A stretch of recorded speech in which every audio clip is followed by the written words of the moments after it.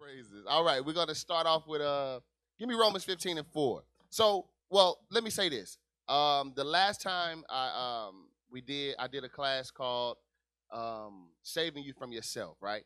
So we understand that in that aspect of the Lord set up leadership to be able to help you.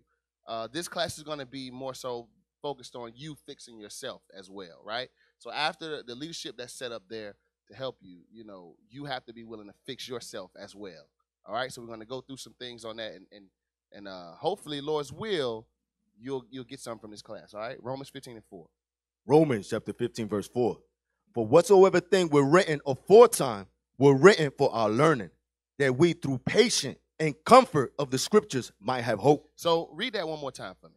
For whatsoever things were written aforetime were written for our learning. The, the the the one of the great things about this Bible is the fact that it's a guideline for your life already. It's already it was already before you was even uh, thinking about repenting. The guideline was already set for you. There was already a way for you to fix yourself. There was already a way for you to have comfort or have hope off what was already written. You got to think about how powerful that is because a lot of us didn't even read our Bible before we repented. And it was already there waiting for you. You understand? Read that again. For whatsoever thing were written aforetime were written for our learning, Uh-huh. that we through patience and comfort of the scriptures might have hope. and through patience and comfort of the scripture, right? We get comfort. I know I get comfort, and I, and I pray you all do too. I got comfort from knowing that Christ is a black man, that all the Israelites are so called blacks, Hispanics, and Native Indians, that um, all the prophets in the Bible look like me, right? That the curses that I read about in Deuteronomy 28 prove that I'm a child of God. Because everybody on the street tell you I'm a child of God. Well, according to the scriptures, I can tell you why I'm a child of God. I won't just say, you, you, you get what I mean? I won't just say I'm a child of God. I can actually prove it, right? That's the, that's the comfort. That's the hope that we have. Because now I know I'm not a Negro or a nigga or African American or Afro American, whatever you want to call it. I know now who I am because God had this set up before I even repented. Think about that. All right. Give me uh is that it? Give me Proverbs 24 and 16. Proverbs chapter 24, verse 16. Proverbs chapter 24, verse 16. Read. For a just man falleth seven times. Read that again. For a just man falleth seven times. Let's get that just real quick. Let's get the just man. Ezekiel 18. 18 and 5, right? Get that. Let's get a ju- what just is, because somebody might be confused on that. Ezekiel 18 and 5. Ezekiel chapter 18, verse 5. But if a man be just and do that which is lawful and right, Hold on, read that again. but if a man be just and do that which is lawful and right, if a man be just and do that which is lawful and right. So a just man is a man that's actually keeping the commandments. Go back to Proverbs 24, verse 16. Proverbs 24, verse 16. Read. For a just man falleth seven times. So that's letting you know in this walk you're gonna fall. The just man, he, he's gonna fall, right? Meaning he's gonna have some some slip ups. We all gonna have them. The only thing is that you got to make sure that you understand that the trials are coming and you're prepared to fix your, whatever issue you're dealing with. You have to be prepared for that when you come into this truth, no matter what. Read that again. For a just man falleth seven times and rises up again. Uh huh. But the wicked shall fall into mischief. But the what? But the wicked shall fall into mischief. So the Bible is letting you know as soon as you fall away, right? When you fall and you actually fall away, you were wicked the whole time. The whole time. Why? Because a just man is going to fall, he's going to get corrected, he's going to get up, he's going to keep it moving. He's going to press forward, like it says in Philippians. Not the wicked, though. Not they're going to actually have excuses as to why they fail, and it's never going to be their own self. The, the finger is never going to be pointed back at them. It's going to be pointed at everybody else, proving they were wicked the whole time. Yep. Go ahead. Yeah, So- let me say something real quick. Hey, so just because it says a just man falleth seven times doesn't mean that you have a license to sin. oh, bring it out. Because a lot of times when we're out in the streets teaching, a Christian will use that and say, well, a just man falleth seven times, Mhm, meaning I have a license to sin. mhm. That's not the case. Let's go to uh Sirach real quick and get uh 15 and 20. The book of Sirach, chapter 15, verse 20. He has commanded no man to do wickedly, Uh-huh. neither has he given any man license to sin. You see that? So just because it says you're gonna fall and make mistakes, it doesn't give you the license to sin. So I just wanted to clarify that up. Bring that out. All praise. Go ahead, Amos. You had something? give me uh, Romans chapter 6, verse 1. Because going back to what Officer Orms has said, the main people that fall back on that is Christians. And they they try to harp in on the fact that they're under grace. But Let's get this precept real quick. Because they don't they like to quote Paul, but they don't read these things what Paul says. Read. Mhm. Romans chapter 6, verse 1. What shall we say then? Shall we continue in sin that grace may abound? So are you going to just keep saying that I fell short? Are you going to keep just saying, well, a just man follows seven times? For you, in order for you to be just in the first place, Christian, you have to have been keeping the commandments in the first place. You had to have started the race. Read. God forbid. So it says, God forbid, we still got to keep the commandments. So pick yourself back up. Go ahead. All praises. You got something you want? Okay. Um, go to so read that again. Go back to Proverbs 24, 16. Read that one more time. Read that. The book of Proverbs, chapter 24, verse 16. Mhm. For a just man falleth seven times and rises up again, but the wicked shall fall into mischief. So that main way is, uh, uh, of fixing yourself is understanding you're gonna fall. Um, in this walk, the more and more you you understand that, understand the the, the what's at what's at stake, it's gonna make it easier for you to rise up, right? If you're walking in the right spirit. If your thought process is to get better in Christ, then you're not gonna fall away. It's impossible. If you're actually trying to follow Christ, right? Give me 2 Corinthians 13 and 5. These, like I said, this is gonna be scriptures that, that, that a lot of you know, but you still got to revisit it. The scriptures say faith come by hearing. So sometimes you need to hear these things to help you actually learn to apply and fix yourself. You need to hear these scriptures, right? Read that. Second Corinthians, chapter 13, verse 5. Read. Examine yourself whether ye be in the faith. Hold on. Read that again. Examine yourself. Examine yourself. It didn't say point the finger at your leadership. It didn't say examine the officer over you. It says do what? Read it again. Examine yourselves. You have to examine yourself. That's something I can't do for you. That's something that your officer can't do for you. You have, that's something that the deacons and captains, you have to examine yourself. You have to be honest and open enough with yourself to say, okay, this is where I, I have an issue at. Read the scripture. Examine yourself whether ye be in the faith. Uh-huh. Prove your own selves. Do what? Prove your own self. You got to prove your own self. So everything that you say, you have to understand you're going to be tested on that. However you saying you're going to move in this truth, the Lord say, okay, you have to prove that. You got to prove yourself. Prove your own self, read. Know ye not your own selves Uh-huh. how that Jesus Christ is in you, except ye be reprobate? Except ye be reprobate. So Christ is dealing with you, except you be reprobate. You'll know that if you're examining yourself. You'll know whether you are the devil or if you're following Christ or not. Go ahead. You have something you want to say? No, I just want to say it says, "Know ye not your own selves," because nobody knows you better than yourself. It's impossible. So you know exactly what you're dealing with. You know exactly what you struggle with. So you should be able to uh, go into the scriptures and be able to address that. Yep. Accordingly. Yep. Give me Hebrews 5. Uh, fix it, especially for the this scripture right. Oh, did we finish that? Second Corinthians 13 and 5? All right, go to uh Hebrews 5 real quick.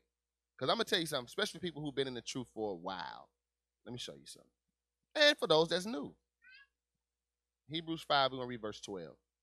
Hebrews chapter 5, verse 12.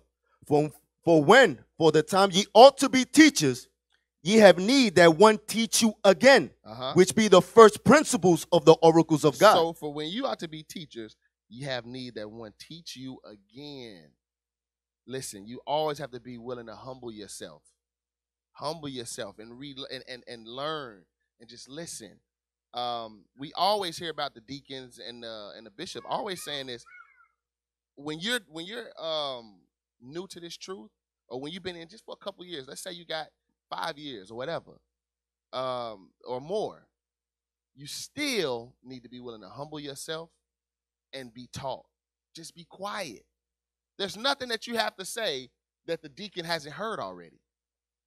There's nothing that you have to say that Bishop had. Bishop has 30 plus years in the truth. You got five. he want to hear what you got to say. Hey, name the last time that you went to your job. And and and, and you go You in to the C- spirit, yeah, bro. and- I was you- thinking the same thing. I'm Yeah, sorry. man. And you go to the CEO. Yeah, um, I kn- Jeff Bezos. I, I I I know you've been running Amazon this way. I know I'm a- Right. I'm a temp. I'm a. I'm not even full. I'm part time. I'm part time, I'm not even full but I time yet. see something that can propel this business to the next level. Right. Right. Man, if you don't go to the multi-billionaire. But think about that. Just how how crazy that sounds. People do that all the time. Brothers do that all the time when it comes to upper leadership. You know what I do when I'm around them? I be quiet. I don't have nothing. What, what am I going to teach? What am I going to say to the bishop that's going to be so different and so uh, this great uh, uh, revelation? No, it's not going to happen.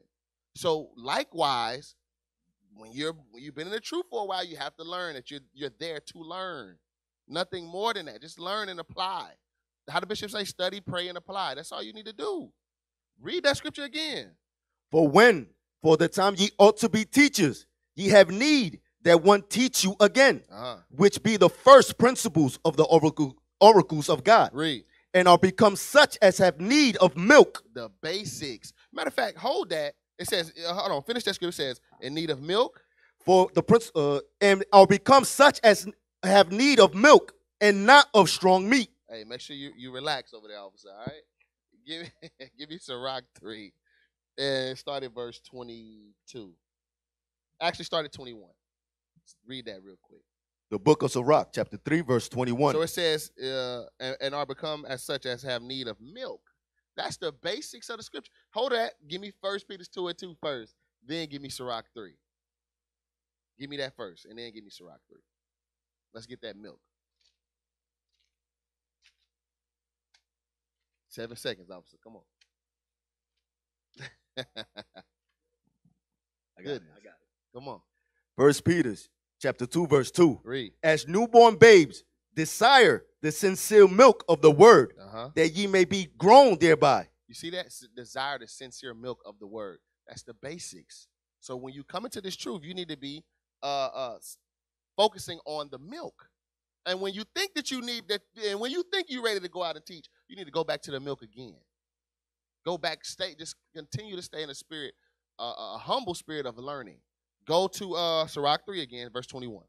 The book of Sirach, chapter 3, verse 21. Read. Seek not out the things that are too hard for thee, Uh huh. neither search the things that are above thy strength. You read that again. Read Seek, that again. seek not out the things that are too hard for thee, Uh huh. neither search the thing that are above thy strength. what what's in what what's heavy about that is once you've been in the truth and you've been you know you just being patient and you don't seek out the things that's too hard for you like the scriptures say you'll notice that every question that you had that you have the bishop will go over it in the class it's been so many times i'm like yo what does this mean you know what i ain't you know i ain't gonna focus on it right now it's, it might be above my my strength at that point so let me just wait and i kid you not it's been, i'm talking about uh, since i've been in the truth the next Sabbath or the Sabbath after, the bishop will do a class and go over that same thing I've been thinking on. That's letting you know. All you gotta do is just be patient. Just gotta be patient. Don't seek out the things that's too hard. Just study on the things that's gonna help you. Because it doesn't matter how much you know about revelations when your wife don't listen to you. It don't matter how about Daniel's 11, literally, if you sleeping with a prostitute. I got- I- I- you got to think about that. So you have to really consider the basics, those things that's going to help you get by. Because when you're seeking things too high for you, your focus on, is going to be on those things rather than the things that affect your life on a day-to-day basis. Read verse 21 again. Seek not out the things that are too hard for thee, neither search the things that are above thy strength, Uh-huh. but what is commanded of thee. What's commanded of us is the we, the laws. Read. Think thereupon with reverence. So have reverence. Of course, it's the whole word of God, obviously. But those laws that's gonna get your life right.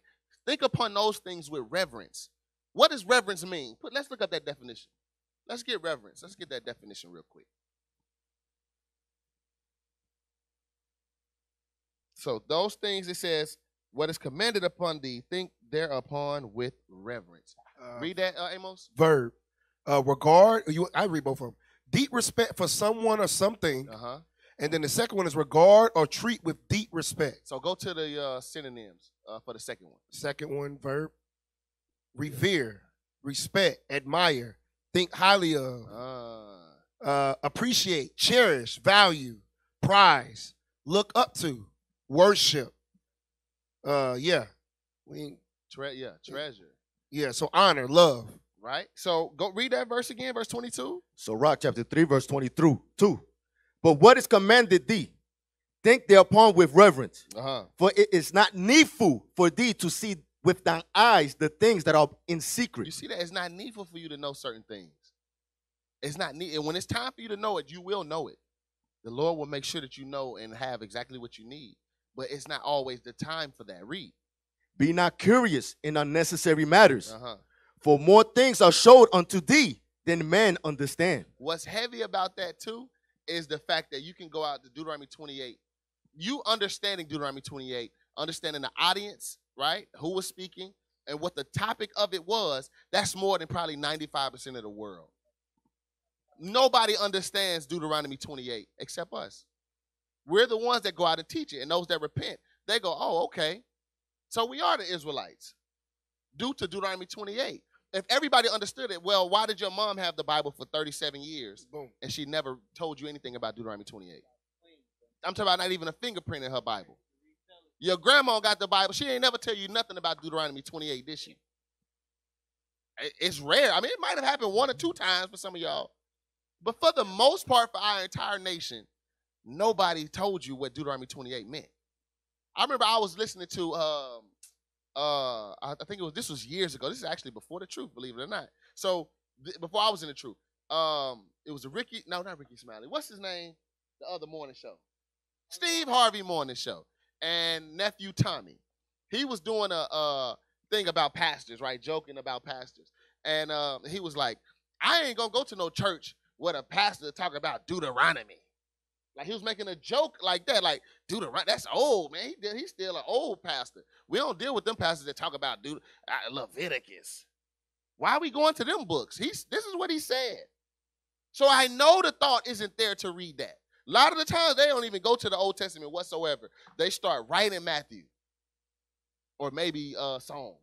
You can't- can't forget Malachi, where the man robbed God. So Oh, they, yeah, they start Hey, Malachi. but you know what's crazy about that? Mo- the most of the signs that the Most High left behind is in Deuteronomy 28. Ooh, bring it So out. how could you ever figure out who you are when all the signs, most of the signs, was left in Deuteronomy 28? Yeah, exactly. Exactly. I mean, he made a joke like it was.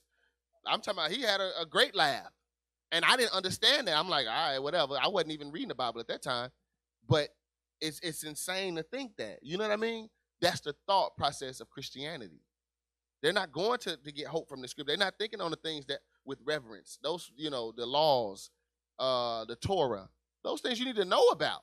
How you going? You can't. You literally cannot understand the New Testament without studying the Old. It's impossible. Go ahead. Yes, you want to say? I was just going to say, even in uh, Romans 15 and 4, Right. it says, remember the things that was before. exactly. Right? Exactly. So even the New Testament tell you you got to go back. Yep. I'm still on on on, on this subject because I, I know we dealing with uh, fixing yourself. Yeah. This scripture when it talks about in Sirach three can also apply to marriages too. Mm, It can apply to marriages too. It says, "Seek not after things that are too hard for thee." When you get an order from your Lord, it's not your job to seek out your thoughts about behind it. mm, bring it up. You you you you're you're now you're stepping outside. You're not putting your role that God gave you in reverence. Mm-hmm. You're not you're not putting in reverence. You're not admiring your your role because it says up up above in verse 23, be not curious in unnecessary matters, for more things are showed unto thee than men understand. You sisters, you know you got to put a dress on. Bring it out. You know you're not supposed to eat pork. You know Christ is black. So if you don't revere or reverence the role that God gave you, you know better than the prostitute or the woman that's in the church. Mm, You know better. And men too. watch this. So, go to Revelations two real quick. Switch it up a little bit. Revelations two. We're gonna start at verse four. Watch this. Revelation. One thing about it, when you come into this truth, uh, if you find yourself um, not not humbling down and, and being uh, a student and, and trying to stay as that student and learn and grow. Here's one of the things that Christ told uh, one of the churches, right? Revelations chapter 2, verse 4. Watch this. Nevertheless, I have somewhat against thee, because thou hast left thy first love. Uh, right, uh, read verse one real quick. Revelation chapter 2, verse 1. Unto the angel of the church of Ephesus, write, These things saith that holdeth the seven stars in his right hand. Who walketh in the midst of the seven golden candlesticks. Now we'll jump down. So it says the church of Ephesus. Jump down to verse four. Verse 4 Nevertheless, I have somewhat against thee, because thou hast left thy first love. Remember, therefore, from whence thou art fallen. So it says you have left your first love. You remember when you came in, right? Remember, you're talking about fixing yourself. You remember when you first came in, and the only thing you ever wanted to do was watch a video. That's all you ever wanted to do. You you you probably ain't even eating. I gotta watch this next video. I gotta see. Oh my goodness, I can't believe it. You calling your wife, you waking your kids up. It's twelve. you called your grandma. You ain't talked to her in twenty six years. You done called, hey grandma, I done heard something crazy. You got to see this right? That's all you wanted to do, right? Read it again. Read verse 24, uh, verse 4 again. Verse 4 Nevertheless, I have somewhat against thee, because thou hast left thy first love. What ends up happening is over time, you stop caring as much, right? You start turning away from the things that you used to hold on so dear to. You used to hold on tight, right? Nobody could take that from you at the beginning. All you wanted to do was study. That's it. And then o- over time, you find yourself kind of falling back. That's, that's what the scripture said. Nevertheless, I have somewhat against thee because thou hast left thy first love. Read.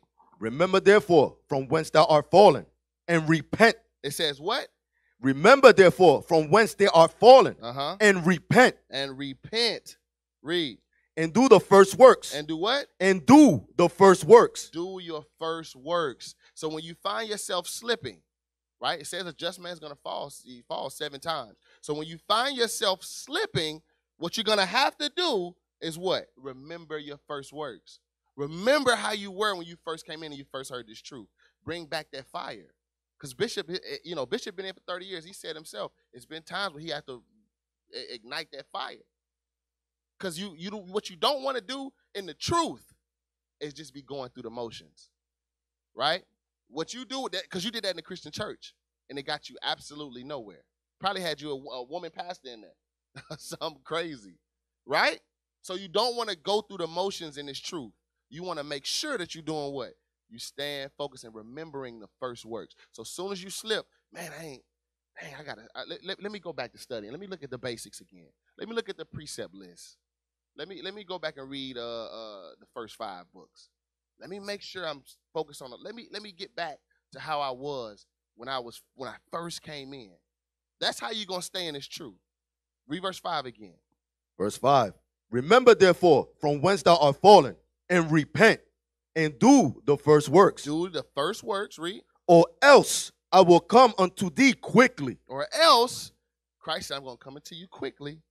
and I will remove thy candlestick out of his place. He's gonna remove your candlestick out of his place. Eh. Remove the candlestick out of his place. Meaning what?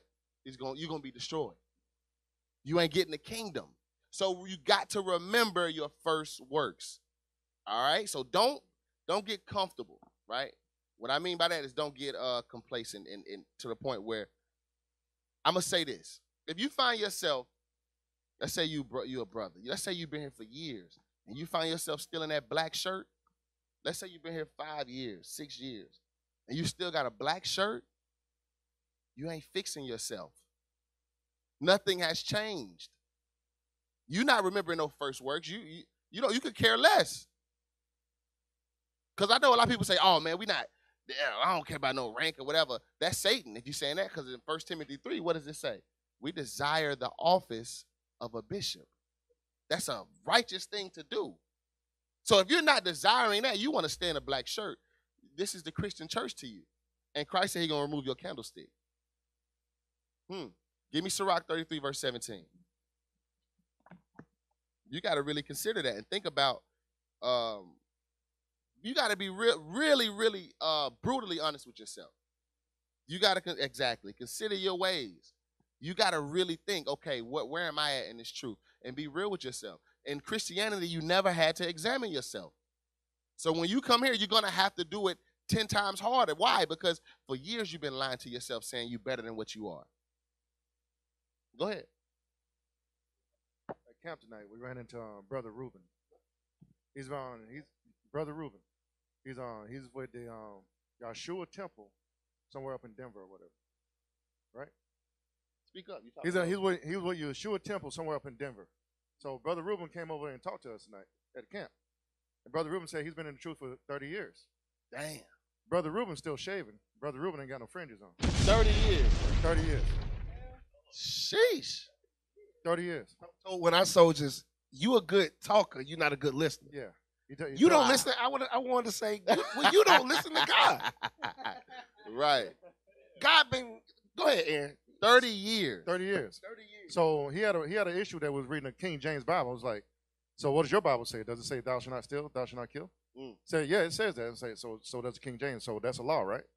Does your Bible say you need to put on fringes? He's like, yeah, it says that. Is that well, what's the problem? Come That's- on, man. So the, the problem with Reuben, Reuben, well, he was he was not congregating. Like I said, that school, that Yeshua Temple, is all the way up in Denver. he in Jacksonville. He's in Florida. Jacksonville. so we were like, we got a school right down the right down the street, Reuben. And the first thing he said, I got something to do this Sabbath. Wow. So you know he ain't keeping no no exactly. laws. That might be the same issue we have with brothers that's been in here Mm. for four or five years, Mm. still wearing a black shirt. I, I, I The first thing they do is make excuses for not showing Right. up on the Sabbath. bring it Right. out. I guarantee, brothers, if they was in high school or middle school, I guarantee you, you'll do your push-ups, your sit-ups, you'll run the sprints, so you won't be on the bench. Mm. Everybody, everybody from the hood said, "Well, you know what? The way to get out the hood is get that scholarship, put this ball in your hand, and put the ball in your crib, and you you training during the off season when it ain't got nothing to do with it. Damn. You want to be training in the off season for Men of Valor. And and and to think about that with men of valor, that's your key for going out and teaching your people. You literally you have to go through that to be able to go out and teach your people in a righteous manner. So you're gonna bypass all that and just not even bypass it. You're gonna say to hell with it. I'm gonna stay in this black shirt. So not only are you not fixing yourself, you not even you don't even have the spirit enough to go and try to fix your people. I'm gonna write off the works of others. That don't make no sense. Watch this. The Give me book of Sirach, chapter 33, verse 17. read. Consider that I labor not for myself only. Hold on, hold on, hold on, hold on. Read that again. Consider that I labor not for myself only. So, and think about that. If you can, another way of fixing yourself is is literally um, considering your brothers and sisters as well. Because you know, I know I'm the example, right? You know you're an example. You know you're an example. So I'm gonna consider, okay, my studying, making sure I walk in the right spirit. Not only is gonna save my soul, but it, it, it'll give somebody else hope to know that they can do it themselves. So it it you fixing yourself and helping yourself is literally gonna help your nation. Read according to the scripture. Read it again. Consider that I labor not for myself only, but for all them that seek learning. For all them that seek learning, it is a lot of brothers and sisters that seek learning. I um I, I we see a lot of messages from let's use Clubhouse, right? We see a lot of messages from people actually uh, uh sending uh, uh uh DMs to the captains, to the deacons about actually going to the school because they couldn't believe what they heard, right? Think about the late nights on Clubhouse. Think about how late the deacons and the captains are on till three, four in the morning sometimes, but maybe even later. Seven in the yeah, all night, going scripture for scripture for scripture. They're not doing that for themselves. Who do you think they're doing it for? They're doing it for their people. But guess what? At the same time, it's sharpening their own sword. At the same time, it's building their own faith. Why? Because they're watching the scriptures come to life. I'm reading this scripture, and this person just repented. Another person. Wow, another person just repented. So what that means is what I'm what we reading is true. It's actually it's true. That builds your faith in, in the same process. So you fixing yourself and you helping your brother at the same time. Huh? Read, read it again. Yes, um, go ahead. uh, just with this uh, Sirach right here, because I was thinking about what you were saying, right? And um, going back to the revelation that you read, Mhm. when it says, "I remember your first works," because remember, like when when we come into the truth, right, and we heard the truth, You remember that feeling that yes. you got, Yes. and like, cause those men that was whatever the YouTube video, whatever the street teaching, whatever the uh, flyer that you collected, somebody either forwarded that flyer, edited that, that video, or or whatever you saw it. bring it out. So they sacrifice some time for you, but you're gonna take that and keep it to yourself. You selfish. Damn. You selfish. Damn. That's heavy when you think when you think about that. Somebody did fold that flyer. Somebody did edit that video before you was even thinking about the truth. Hmm. Donated the arms to print the flyer. Right. Right. Absolutely. Wow. Give me Galatians 6. Galatians 6. He said, Galatians 6, we're going to start at verse 1. Because it's about fixing yourself. Galatians chapter 6, verse 1. Read. Brethren, if a man be overtaken in a fault, ye which are spiritual, restore such as one in the spirit of meekness. It says, Ye which are spiritual, restore such an one in the spirit of, of meekness. We have to get to a point where we're able to uh, uplift our brothers and sisters. Now, here's the thing. This is what Jay could do, because Jay can be evil. They'll see that it says restore such an one, right? So if a brother's put out with another doctrine, we're supposed to restore such an one. That's not what that's talking about. Right, right, exactly. Because Romans 16, 17 says, have no fellowship. Don't deal with nobody that's doing that. To have another doctrine or coming with a, a heresy or something like that. So obviously, it's talking about somebody that what that that stumbles. Remember, a just man falls. A just man falls. So when you see your brother being overtaken in a fault, it says, "Ye which are spiritual, restore such an one in the spirit of meekness." Our job is going to be trying to restore that spirit back to where they were. Our job is to help that person fix themselves, right? Why? Because if you're in the spirit, I mean, you are already fixing yourself. So when you see your brother fall, I'm going to look out for my brother and help him the same way that I've been helped, right? Read. Considering thyself. You're doing what? Considering thyself, You're considering yourself. Why? lest thou also be tempted. You see that? So you're gonna help your brother and and, and be a a, a a a shoulder to lean on, or whatever you want to call it. You're gonna be. Uh, uh, uh, give me another example. A shoulder to lean on. Uh, uh, A life raft. uh, uh, yeah, a life raft for, for A your life brother. raft. Because guess what? That same temptation is coming to you. So you gotta make sure that your spirit is right, so you can help that brother or sister. All right, keep reading. Bear ye one another's burden. Wait a second. We got to do what? Bear ye one's another's burden. This So- doctrine. So if I'm a if I'm an individual, like how can I do that? Oh, So if I'm not applying the scriptures of congregating, how can I do that? Hmm. All right. Yes, you want to say, Amos? Go ahead. for those that think when somebody leave on a doctrine, did it say bear another another's doctrine, Bring it out. or did it say bears? You don't just fall into baptism. Right. Bring it out. You, you don't just fall into Bring multiple wives. Bring it out. You know what I'm saying? Be, uh, so read verse two again.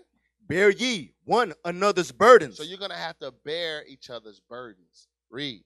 and so fulfill the law of Christ. So fulfilling, you're gonna fulfill the law of Christ. Why did Christ not bear our burdens? Did he not die for us? So you mean to tell me you see your brother fall and you can't go help this brother out? You're that self, like he said, you're that selfish. Keep reading. For if a man think himself to be something, Read this again. Read it again. for if a man think himself to be something Uh huh.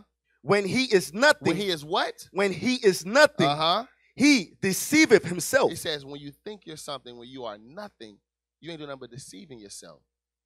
So much so that you're not only destroying yourself, but you're watching your brother or sister be destroyed as well. Because you're not willing to bear their burdens. Because you think you're higher or, or you know, you're better than this person. Remember, only reason we know each other is because of the Bible. So what that means is I have to apply what's written in there in every aspect of my life. So I have to be, I have to bear your burden because the scriptures told me to. Just like it said to congregate, just like it said all those different things. Because you know how many, how many of y'all, y'all know, all everybody done said this. I didn't hang out with this. I wasn't like this in the world. I wasn't like that in the world. None of that matters now. Why? Because we have the Bible right here. So you got to make sure that you're walking in what you're reading. That's how you're gonna fix yourself. That's the only way you're gonna do it because you're gonna. If not, you're gonna always have that thought of how you was in the world, right? Read verse three again. Verse 3. But if a man think himself to be something when he is nothing, Read, he deceiveth himself. read. But let every man prove his own work, Prove his what? his own work, His own work. Read. and then shall he have rejoicing in himself alone, Uh huh. and not in another. Right. He's proving his own work. Read. For every man shall bear his own burden. So think about that. So once you're fixing yourself, you get yourself built up, right? You're helping your brothers out. You still got to understand you got to bear your own burden. You still got to you still got to go through whatever the Lord puts you through and it's true. You got to be built up enough to get through it though. Read. Let him that is taught in the word communicate unto him that teaches in all good things. Right. So give me Ephesians 4. Stand in that same vein, right? So it says, every man shall bear his own burden. But it also said in verse 2, bear ye one another's burden. So the Lord is giving you um uh, a cheat sheet on the test. On the test that you have, He giving you a cheat sheet. Why am I saying that? Because He gives you all kind of different things for you to um to help you along the way in your process of repenting. The thing is, sometimes we so hard-headed we don't want to apply those things. Right? Watch this. Give me Ecclesiastes 4, uh, verse 9. Ecclesiastes 4, verse 9. Ecclesiastes chapter 4 and verse 9. Read. Two are better than one. Read that again. Two are better than one. The Bible says two are better than one. So why in the hell are you trying to be by yourself? I I don't understand that. If the Bible's telling you two are better than one, you'll be amazed how many people know they're an Israelite. I know I got to keep the commandments. I know Christ is black, but I ain't trying to. I I ain't trying to be up in that congregation. I ain't trying. I, ain't, I don't want nobody telling me what I need to do. Read the scripture again. Two are better than one. There's no way that you're gonna fix yourself by yourself. If you stay just by yourself, it's impossible. Read it again. Two are better than one Uh huh. because they have a good reward for their labor. Read. For if they fall, the one will lift up his fellow. Bear another's burdens. Right. So if I'm think about that now, it said a just man's gonna fall seven times. So you're gonna fall. But if you're telling me I'm gonna stay back, I don't want to deal with no congregation. When you fall, tell me who's lifting you up. Say, hold on, say it on the mic. Hold on, say it on the mic. Satan. That's it. Yeah, he always got your back when you Yeah. like that. He's looking forward for you to be like that. He's hoping that you're saying, "Hey, I'm by my no, no, I'm good. I'm on my own. I'm, I, hey, I can handle it." No, you cannot. How do I know you can't handle it? Because before you heard, or before you seen that class, before you got that flyer, before you did anything pertaining to this truth, you were keeping Christmas, birthdays, Thanksgiving, uh, uh, whatever. You might have been a, a, a, a Buddhist. You might have been a monk with the little, you know, yellow and orange on, looking crazy, bald head. but I'm, but think about what I'm saying. You, it's, it's, it, that, that's a, that's proof. He's stupid. That's proof that what you didn't know better by yourself. It's impossible because you was doing everything but what God told you to do when you was doing it on your own. Now, when somebody's showing you the scriptures and showing you what's going on, now that's going to help you. You had that that two is better than one because somebody taught. He helped you. Somebody helped you. Read that again. For if they fall, the one will lift up his fellow. Uh huh. But woe to him that is alone But when dis- hold on, you gotta read it slower now. But destruction to him that is alone. I'm gonna say this again for the individualites. Destruction for him that is alone. Read. but woe to him that is alone when he falleth. For he has no he has not another to help him. He doesn't have anybody there to help him up. He doesn't have a, a, a system like how we have. At any moment, something happened to me, I know I got brothers that I can reach out to. At any moment, if I have an issue here in Jacksonville, and let's say I, uh, I, I, I don't know how I should handle this, I can call the captain immediately. I can call the deacons. I can call. We have people here to help us to make sure that we're okay. Not you. you at the house. How can you fix yourself? It don't make no sense. If I'm listen, when I was by myself, I was smoking weed. I was laying with all kind of women. I was doing anything that I wanted to do. That was, and nobody could tell me that I was wrong. So how could I change unless somebody came? Unless the Lord had didn't put, if He wouldn't have put the classrooms, the uh, uh cause I, I saw it on YouTube. If the Lord wouldn't have had me just, cause I'm looking, I'm gonna be honest with you. At the time I found it, I was looking up Egyptology videos. I'm trying to be uh Umar or whatever his name is. I'm trying to be like this brother. Right, right. I'm being honest. On the, eh, but look, but look though, on that right side where it say next video or suggested video, I seen a, a a camp right here, Israelite camp. Eh, eh, I'm like, what is this? And I click on it, and now I'm here. All praise to the Lord. But think about what I'm saying. If the Lord, if if I, if it wasn't for the the the uh that safety net that we have, if it wasn't for the congregation, I would still be out there doing the same thing I was doing at first, which is death. I was actually killing myself. Keep reading. You Verse- you want to say, Aaron? Oh, okay. Read read uh verse 10 again. Ecclesiastes chapter 4, verse 10. For if they fall, the one will lift up his fellow. But woe to him that is alone when he falleth, Read. for he has not another to help him, to help him up. Read. Again, if two lie together, then they have heat. But how can one be warm alone? You see that? It says if two lie together, then they have heat. I'm sure y'all have seen those movies when they freeze it. What they what do they always tell you to do? Huddle up, huddle up. I, it was a store. Uh, I think I was watching a um, like uh, one of the first. They was talking about the tabernacles that that they had in New York, like the first one. Like I think it was the bishop and it was a couple captains and the deacons, and it was just them. They wasn't even their families. This is when they first started keeping tabernacles. And I remember uh, uh, they were saying that they, you know, they never had, t- they didn't know what to expect. They didn't know what to do. Right? You know what I'm talking about? That was at uh, FOT. I Yeah. think the bishop was talking about. Right? it. Yeah, yeah, yeah, yeah. He And it was they, that. they didn't prepare at all. Right, right. So now keep in mind, in New York, it's freezing. It's freezing, especially around that time. So he said they think about it, they have no um what did he say? They had no heaters, they didn't have no what you call them, air mattresses. So they just had tent, just a tent. They on how to say it again. they sleeping on rocks. they on think about that. They on rocks. It And it, go ahead. it, sucks, it sucks all the heat out of your body. Eh, hold on, right say it on, right. again. It sucks. The ground sucks all the heat out your body. So what he said, what what uh, what what I think it was either bishop or somebody said that what they had to do to stay warm, they had to huddle up. You, you think about that, and and I'm using that as an example to show you that. Guess what? Without their brothers, that would have been a terrible night.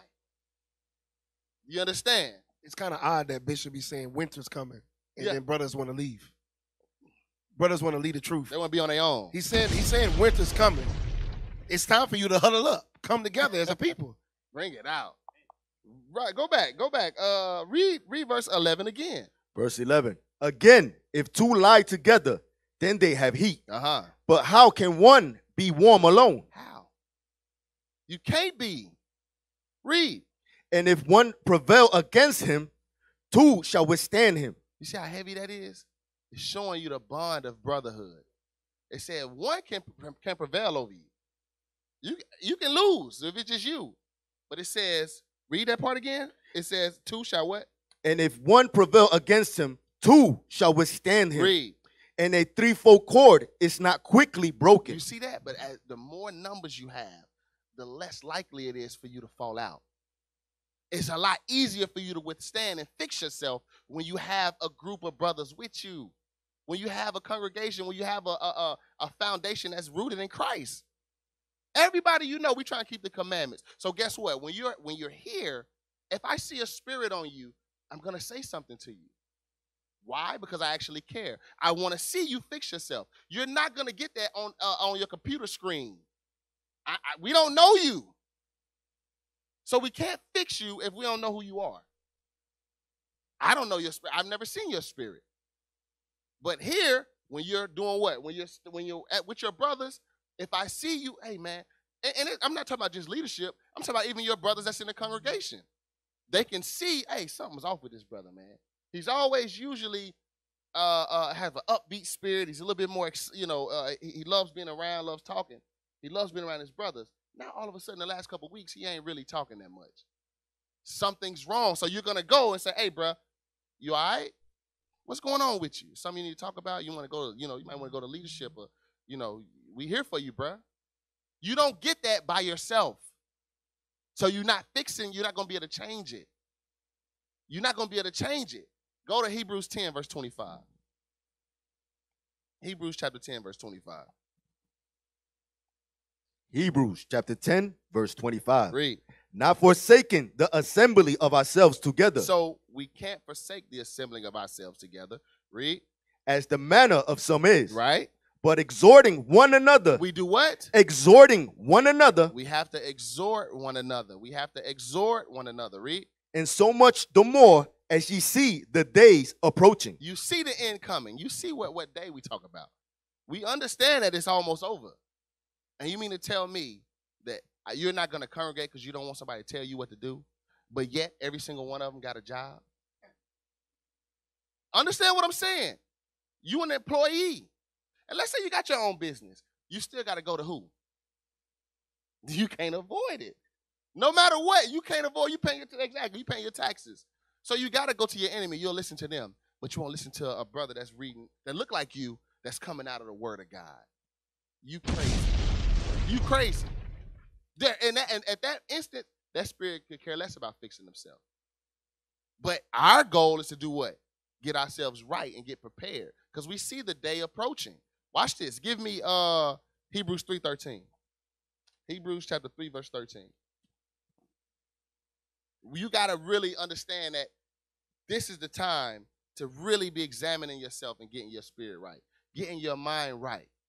Because if and I, I tell brothers all the time, at least consider your brother, if, if, anything, right? If you if you ain't gonna do it for yourself, at least consider this brother. Don't these, these brothers out here, these sisters out here, they don't know Deuteronomy 28.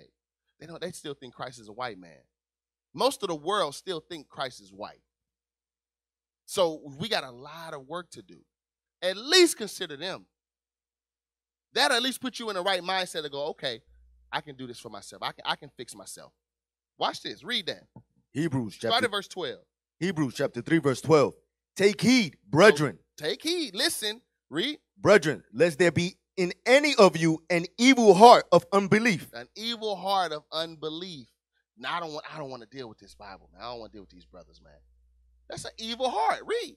in departing from the living God. Read. But exhort one another daily. Hold on. Do what? But exhort one another daily. Exhort one another daily. That's the power of your brotherhood and power of congregating, not forsaking the assembly. Now I can exhort you daily. Every time I see you, hey, shalom, bro, most high Christ bless. You all right? It makes it easy. I'm gonna tell you something. I guarantee you, when you at when you by yourself, you might have thoughts of sin. When you around your brothers, I'd say 10 times out of 10, you ain't thinking about no damn sin. If you in righteousness. When you around your brothers, all those problems, all those thoughts, that's going out the window. It's going out the window. But as soon as you stand by yourself, hmm, you find yourself falling and falling and falling. That's why you need to make sure you try to be at the school as much as po- this school is open seven days a week. All praise to the Lord. Make sure that you putting your brick in, doing what you can at your respective schools. Make sure you're doing what you can because guess what? When you're around your brothers, you're not thinking about sin. You ain't thinking about that big booty sister. You ain't thinking about uh sisters. You ain't thinking about the the uh the the the, the diesel brother at work. Yeah, yeah. You ain't thinking about that brother. Jerome. Yeah, why? Yeah, you gotta be Tyrone or Jerome or something. Why? you ain't thinking about that brother, right? What you doing? You you at the school, you trying to get your spirit right. That's why it says don't forsake the assembly. Go ahead. Hey, I'm gonna use me and you as an example. Yeah, All right.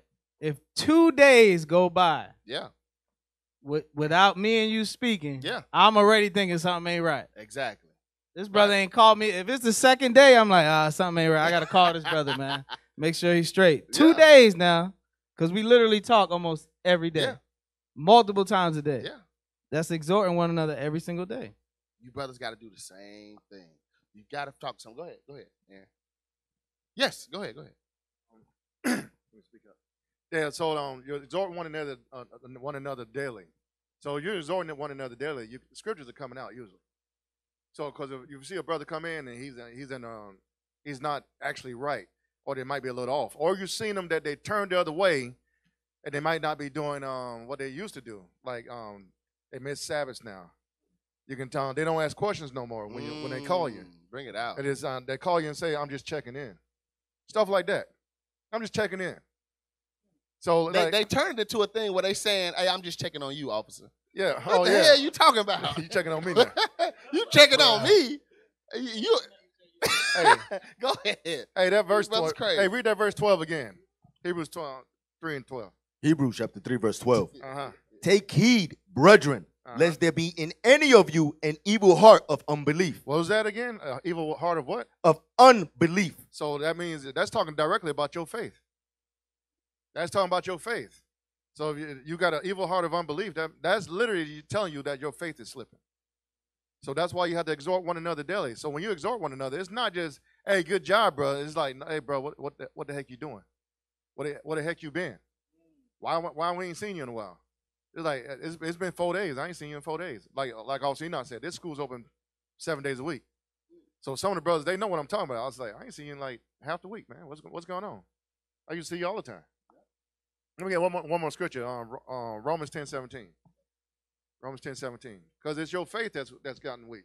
You done ran into something, you done got bit by a video or something, and you ain't telling the brothers. So you hiding, you hiding, you uh, you hiding what you're thinking about from leadership, or from those brothers that can actually help you out. Uh, Romans chapter 10, verse 17. Romans chapter 10, verse 17. Uh huh. So then faith cometh by hearing. So you, you you the only way you go keep hearing the scriptures is by exhorting one another daily. You got to be around the brothers and hear the scriptures all the time. Because when you're on your own, trying to do it on your own, sometimes you need a kick in the butt. Read it again. So then faith cometh by hearing, Uh huh. and hearing by the word of God. You got to be in this Bible every day, just like it says in Joshua. Meditate on it daily, right? So if you can't do that on your own, if you ain't congregating, you're not doing what you're supposed to be doing with your brethren, then you're not moving. You're getting stagnant, and you're gonna you're gonna start moving backwards. That's all. All right, all praises. Uh, go to uh, First Peter's five and eight. First Peter's five and eight. This thing is, I'm telling you, y'all. It, it if you just apply the basic things, right? That's why I said this class is we're going over basic scriptures. Everybody know these scriptures, but you got to apply them to help your life. I'm telling you, these things are, are what matter to save your soul. You got to fix yourself. You have to, because we all, all of us are sick. This is the hospital. This is the hospital. And we all trying to we we getting our medicine from our leadership. They're showing us what to do. It's just, they- they're prescribing the right scripture or the right script for us to make sure that we got what we need. It, it, it behooves you to listen to that. What'd you say? right, right, right. Uh, give me First Peter chapter five, verse eight. First Peter chapter 5, verse 8. Uh huh. Be sober, be vigilant, Hold on. Read that first part again. be sober. Be sober. Be sober. That's for the brothers that like to smoke. I know some of y'all still smoking. Be sober. Be sober. Repent of that thing. Repent. All right, go ahead. Be vigilant, because your adversary, the devil, as a roaring lion, walketh about, seeking whom he may devour. You see that? It says, Your adversary, the devil, as a roaring lion, walketh about seeking whom he may devour. So, what that means is Satan is literally waiting for you to say, "Ah, I think I know better. I don't I don't need to go to the Sabbath this week. I can miss I can miss this week. I'll be at home. Satan like, yes, I got it. Here we go. All right, he stayed this one time. Maybe I can get him to stay one more week. Let me. oh, okay. All right. Now he, he arguing with his wife now. Okay, here we go. Here we go. His wife ain't listening. All right, cool. Now he's ready to be taken. He's seeking, he's waiting for you to make one mistake. So think about that. Remember, Sirach 2. Go to Sirach 2 real quick. Sirach 2, real fast. we coming right back. But Sirach 2. Start at verse 1. The book of Sirach, chapter 2, verse 1. Read. My son, if thou come to serve the Lord, Uh-huh. prepare thy soul for temptation. Read. Set thy heart aright and constantly endure, And constantly endure. Read. and make not haste in the time of trouble. and make not haste in the time of trouble. So go back to First Peter's 5. Make not haste in time of trouble. So you got to understand something. When you first read that, read that scripture 5 and 8 again. Uh, First Peter chapter 5, verse 8. Read, read, read. Be sober, be vigilant, because your adversary, the devil, as a roaring lion, walketh about, seeking whom he may devour. You didn't get on on Satan's radar until you start keeping the commandments. He wasn't trying to devour you. He already had you. He already had you. So as soon as you come into this truth, that's why it says, prepare your soul for temptation. He goes, wait, okay. I think I got it. He don't want to he don't want to congregate. He got offended. He got offended. Yes, yes. He ain't apply Matthew 18. I got him. He waiting for you. He waiting. See, that's why I said when you come into this truth, prepare your soul for temptation. Those trials are coming. Y'all seen the class, uh, Bishop's class, three trials of faith. So come from your wife, it's going to either come from within you or it's going to come within the congregation. It's coming from any of those angles. And guess what? If you're not preparing yourself, if you don't understand Sirach 2, if you don't understand that you got to be ready for those things, Satan got you. He can't wait for you to make. Soon as you slip, that's why when you notice, uh, uh, leadership always say they don't. They uh, it's hard to trust a brother if he ain't been through no trial. It's very hard because that spirit change when when when that, when Satan trying to get you. When he got you, when he when you fall and you slip, we see what you made of then. If you get back up, like the just man does, right? We see, okay, this brother, all right, okay, he's solid. He done been through a lot of stuff. We can deal with him. That's why they say that because you got to understand you don't know somebody until that trial hit. That's why you got to prepare your soul for temptation because it's coming. And Satan on a he's literally in the bushes out there. Wait, like when we leave the school right here, he behind the tree over there, waiting. Did he? Oh, he mad right now. Somebody offended him. Yes. Dang, that sister, she said something to her she ain't like. Yes. I'm gonna wait about about another two weeks. You walk out, you know that class is about you, right? Oh, bring it out. Bring you know it that- out. you know that class is about you, right? Yeah, Go, go ahead. Yeah. yeah. Yeah, stand up and say something. oh no, no, no, no, no! Don't say stand up. and Say, say, tell that sister what you thought about. What she thought about the class. Did she think the same thing? See, what you do is you call, you bring up the class so they think you righteous, right? and then you say, I really don't agree with that. Yeah, I don't like how Enoch was teaching that. Yeah. It was about you. You know it's about you, right? Mm, yeah, something ain't right. I, I I always knew something wasn't right there. You always knew that. Okay, all right, sure you did. You always knew something was off uh, of the leadership, but you never knew serving a tree was off. You never knew. You you you always something's wrong with us. Hold on, rap, uh, uh, uh, uh, A Bunny rabbit, Rabbit. a bunny rabbit yeah, yeah, yeah. That was you good. never knew nothing was off, but you would eat pork and they can pour Pepsi on it and bugs come out. Yeah. You never knew nothing was right, Now you you seen that today, didn't you? man. You saw, you the other day, didn't you? I'm praying to the Father. hey, yeah.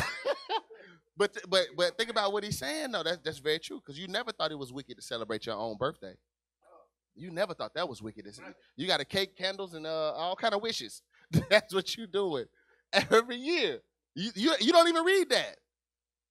That was okay though, right? Okay. Watch this. Give me uh. Give me Mark four. And start at verse 18. The book of Mark, chapter 4, verse 18. Read that. And these are they which are sown among the thorns. Hold on, hold on, hold on, hold on. Read it again from the top. Verse 18. Uh-huh. So it's talking about the, the, the four types of Israelites, right? Watch this. And these are they which are sown among the thorns, Uh-huh. such as hear the word, and the cares of this world, and the deceitfulness of riches, and the lust of the other things, And en- the lust of other things. So deceitfulness, it says the cares of this world and the deceitfulness of riches and the lust of other things. Read. entering entering in, Uh-huh. choke the word, and becometh unfruitful. So you can't fix yourself if your uh, objective is to prosper in this world. I'm not saying you can't get a job and make it. That's not what I'm saying. But if here's what I'm saying, I'll show you. Go to um, uh, Matthew six. Give me Matthew six. I'll show you. Matthew six verse uh, 19. I'll show you what I mean by that. the book of Matthew, chapter 6, verse 19. Read. Lay not up for yourselves treasure upon earth, where moth and rust does corrupt, Read. And where thieves break through and steal. Uh huh.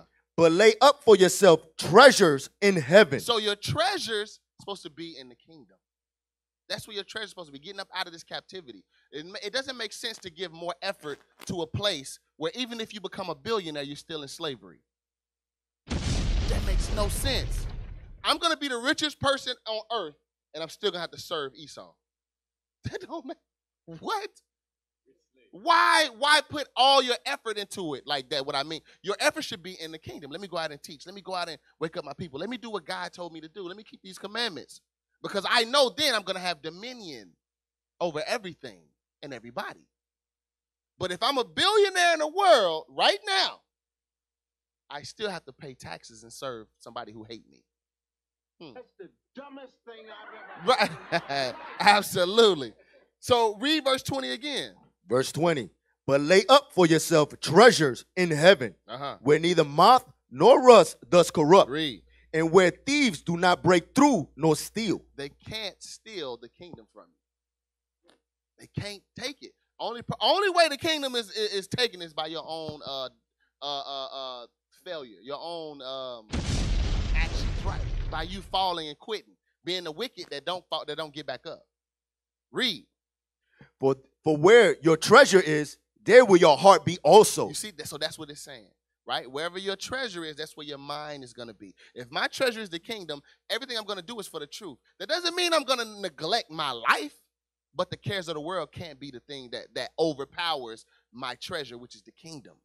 Go back to Mark 4, read verse 8, uh, 19 again.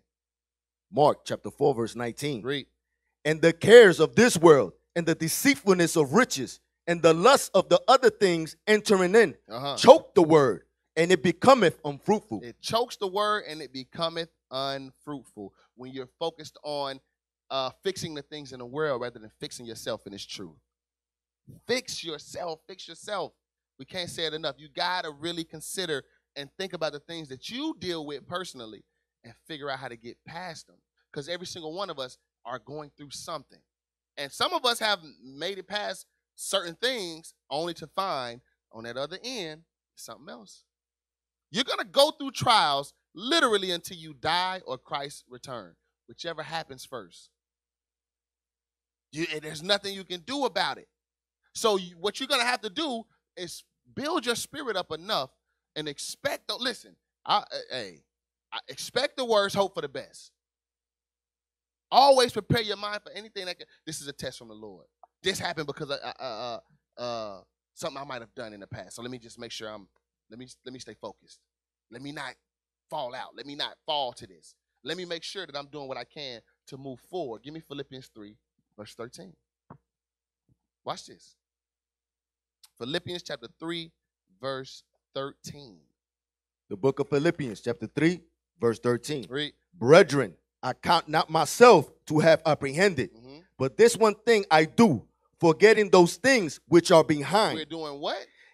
Forgetting those things which are behind. One of the main ways to fix yourself is to let go of the baggage.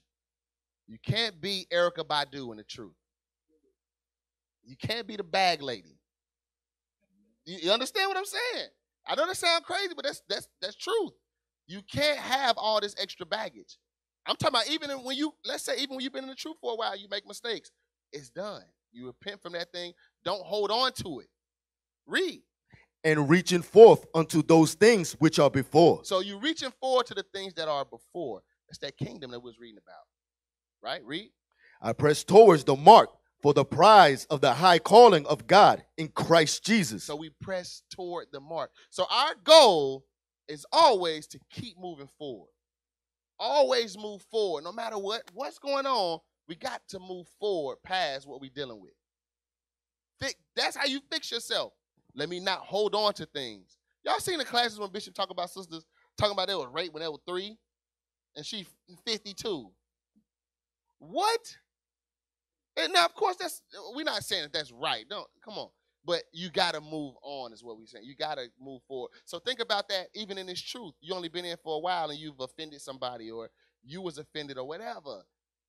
You guess what? You you you fix it with your brother. You repent and you keep moving forward.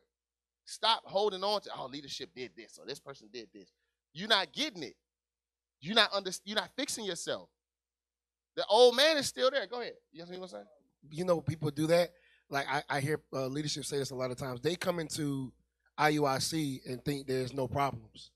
They never realize SWAT to themselves. They don't realize this is a hospital. Right. So they come in here and thinking, everybody is just perfect. yeah, right. like like Yeah. you don't understand when you come into this truth, your spirits really come out of who you are. And the church is covered up.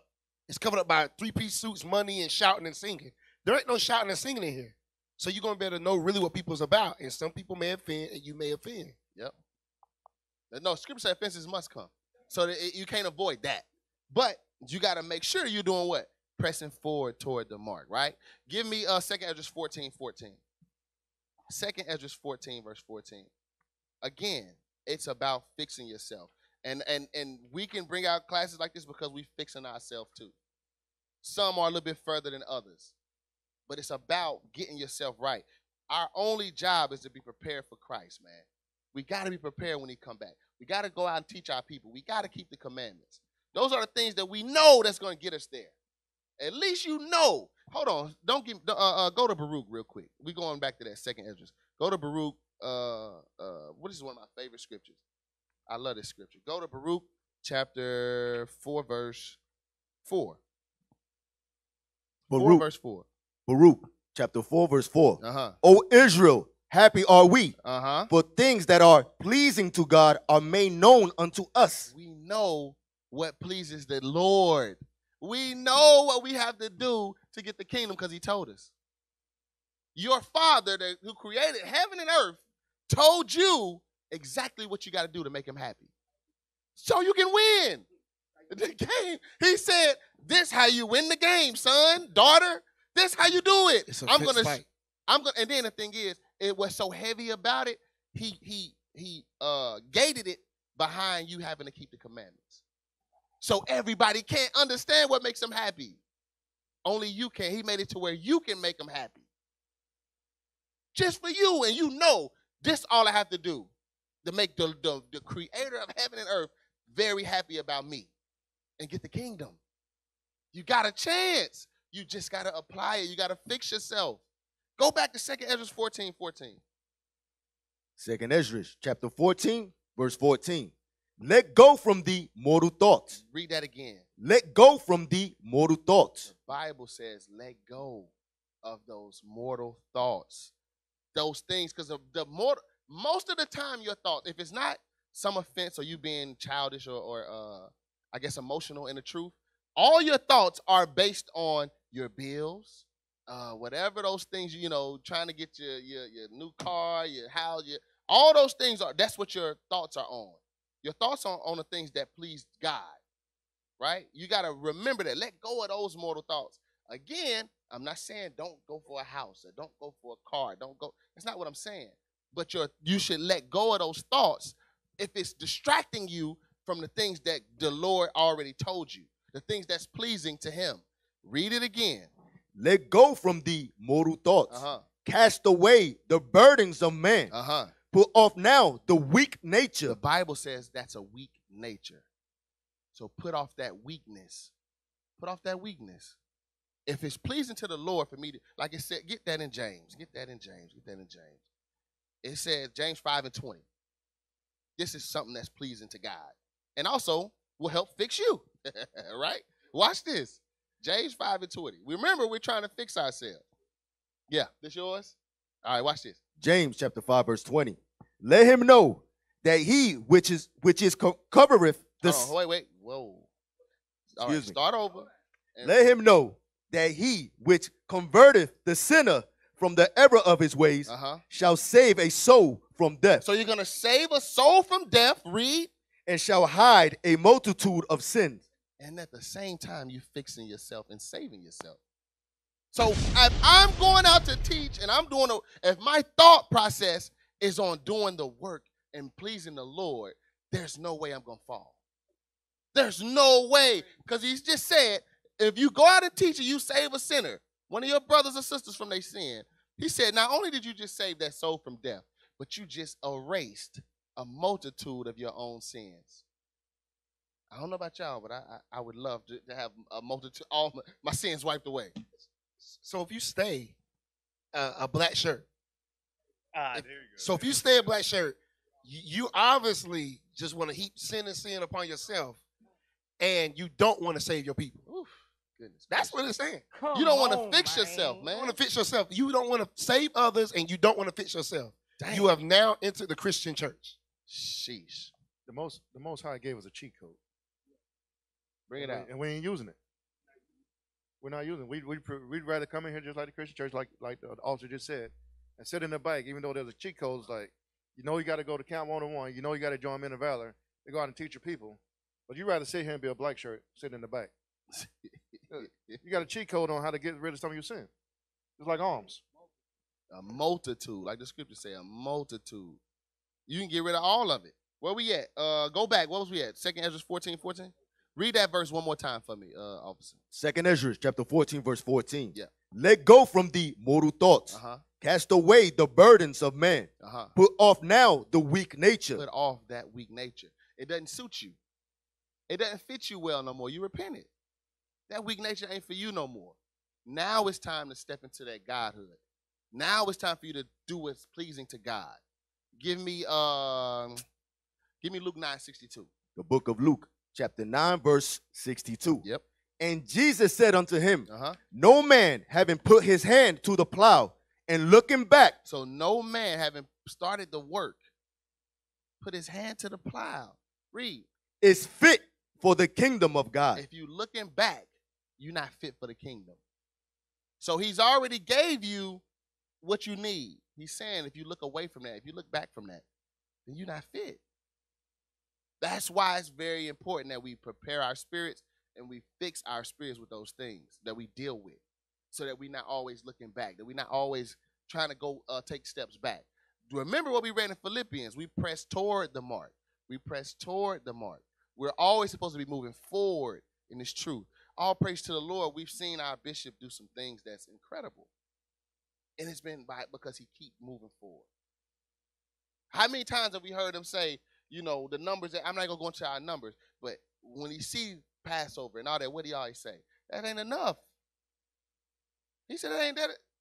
No. So we that's our example. He's always moving forward.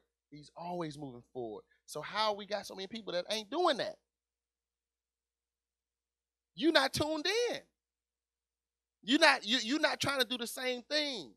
I'm trying to do. I'm trying to move forward. I, listen, you're going to deal with offense. You're going to deal with a lot of things, and it's true. Especially for you brothers that's in leadership. You know what I'm talking about. You're going to deal with a lot of different things. But guess what? Your goal at all times is to fix yourself, help your brother, and just keep moving, man. Keep moving forward. All right? Give me 1 Corinthians 16, 15. 1 Corinthians 16 and 15. We're going to have to move forward. We're going to have to um, learn how to keep pushing and follow the example of our leadership.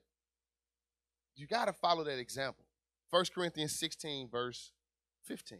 First Corinthians chapter 16, verse 15. Uh-huh. I beseech you, brethren, ye know the house of Stephanus, that it is the first fruit of Achaia, Uh-huh. and that they have addicted themselves to the ministry of the saints. They did what? Addicted themselves to the ministry of the saints. You have to addict yourself to the ministry of the saints. A lot of our people are more addicted to money, uh, you know, material things, women, drugs. I mean, all kind of stuff. But you're not addicted to, to this ministry.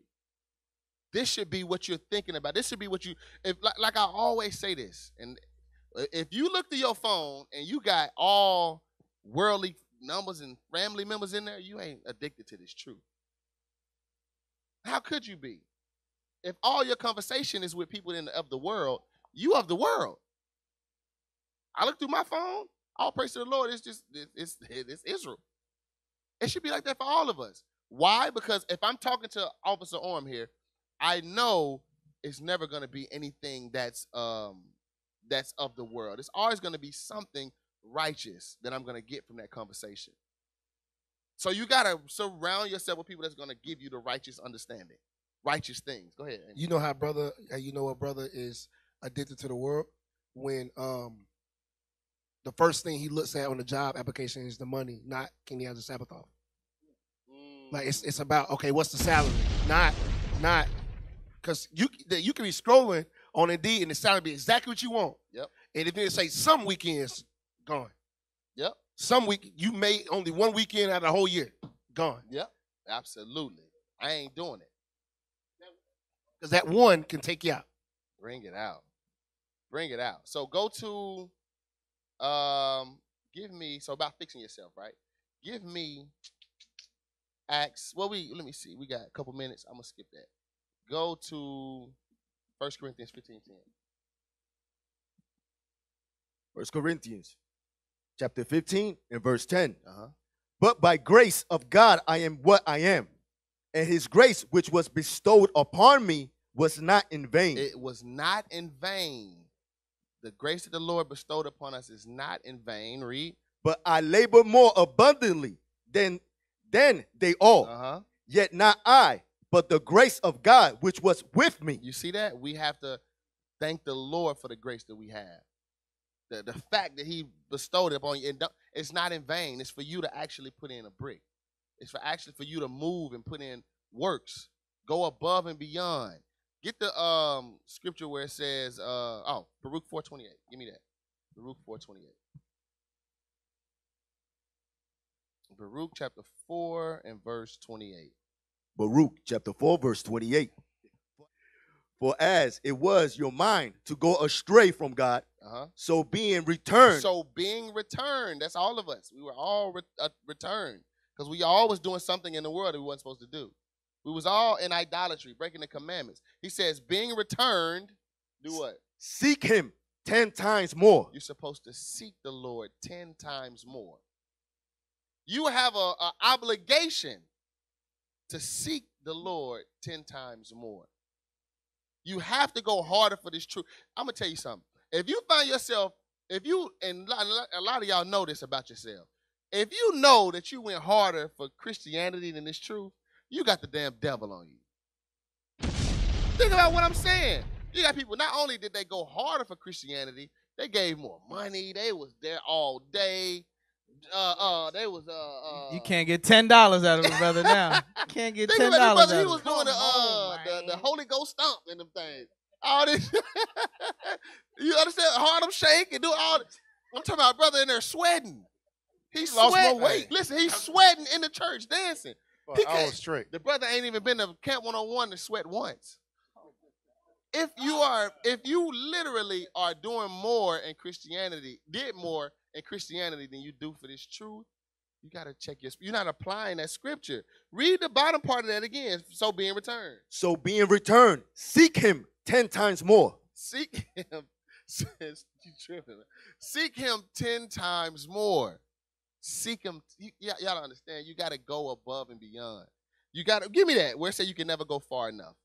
It's uh ah where is it? Where is it? You can never go far. en- It's in like thirty seven or something like that. Sirach forty three. Okay, give me Sirach forty three, verse thirty. The book Yep, of absolutely. Good. Yep, yep. Read it. the book of Sirach, chapter 43, verse 30. Read. When ye glory, glorify the Lord, exalt him as much as ye can. Exalt him as much as you possibly can. Seek him ten times more. Read. For even yet will he for exceed. He's already far exceeded. He already had the word here for you. He are you alive. He's already to- showed you that you're an Israelite. He told you what's pleasing to him. He's already went far above what you're gonna do. Read. And when ye exalt him, put forth all your strength. Put forth everything that you have. Put forth everything that you have. Read. And be not weary, Uh huh. for ye can never go far enough. Hold up. Hold up. Hold up. Say what you say. It. Say it. That means the work never stops. It's impossible. It can never stop until Christ It's- returns. Say you'll never go far. uh, You can never do enough. You can't exceed what the Lord has already done. You can never. So it don't matter. Just give it. Just put your hand to the plow and don't look back. Right? Watch this. Give me Second Ezra. Uh, I'm a give me Second Ezra 16, 76. Second Ezra. So we gotta fix ourselves, brothers and sisters. Second Ezra 16, uh, 76. The book of Ex- Second Ezra, chapter 16, verse 76. Mhm. And the guide of them whom keep my commandments and precepts. Start at verse 74 for me. Verse 74. Hear, O ye my beloved, say of the Lord, Behold, the days of trouble are at hand, Uh-huh. But I will deliver you from the same. Hold on. The Lord said he's going to do what? I will deliver you from the same. He's going to deliver us from that trouble, right? Read. Be ye not afraid, Don't be afraid, Israel. Read. neither doubt, for God is your guide. Wait a second. What? Neither doubt, for God is your guide. So the creator of heaven and earth. I'm going to say it again. The creator of heaven and earth is your guide. He's making sure you're making remember it says uh, a man's steps are uh, ordered by the Lord. I know I kind of butchered that. But uh you, you know what I'm saying? You had to laugh. I butchered it, I know. But uh, a man's goings of the Lord. That's what it is. So so you got to understand that the Lord is truly your God. He really is. That's why you here. Remember, you didn't choose him, he chose you. He chose you. You didn't listen, nobody in here thought that there was gonna be and if somebody would have told them every every Sabbath, they be uh for some of y'all, you be keeping the commandments. You ain't, you know, you ain't going to the club, you ain't somebody would have told you that 10 years, 20 years ago. You'd be like, man, please, reading the Bible? Please. You never would have thought that. So you know that the Lord is your guide because not only are you in the, the greatest, this is the greatest time to be alive. Not only are you in the greatest time to be alive, He's giving you a a a, uh, a front row seat. a get out of jail free card. yes. He, he's giving you a a fireproof uh, a fireproof outfit, yeah, a whole Whole suit, armor a guy. whole armor for when nukes come. You you know this place is gonna burn. He said, "I got you. Don't worry about it. He's your guide." Read verse. We gotta hurry up. Uh, read seventy six. 76. And the guide of them who keep my commandments and precepts, save the Lord God.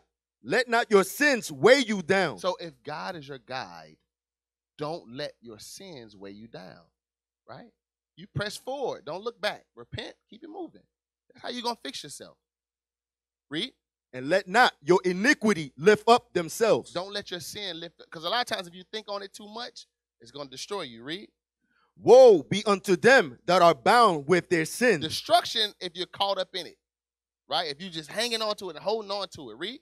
and covered with their iniquity, Uh-huh. like as a field is covered over with bushes, Uh-huh. and as the path thereof covered with thorns, that no man may travel through. Read. It is left undressed, Uh-huh. and it is cast into the fire to be consumed you therewith. So if you don't fix that and, and, and move forward and get past it, it says it as if it's left undressed, it is cast into the fire to be consumed. All right. So fix yourselves, Israel. Make sure that you're doing a thing, reading the, the, the scriptures, reading the basics, and make sure that you apply those things to help you. All right. We used to scream black power while Heron was pushed. But at the end of the day, nothing's in vain. IUIC has been given a vision. The tents of Judah has risen. Many has attempted the mission. Minor murmuring, omitting, and missing the mark. Just reading that he had the flame of fire in his eyes gave us the spark. We on Paul's mission. We out on the road, purple and gold. From Mexico, Cuba, Haiti, Ghana, Sierra Leone. 144,000 boots banging, concrete crackling. Are our men repented at heart. The scriptures is proof. IUIC, we deliver the truth.